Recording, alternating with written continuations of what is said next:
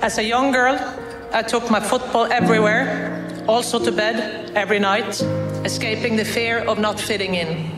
My dreams are still about football. Football where boys and girls, all colors, straights and queers, everyone is treated with equal respect and recognition.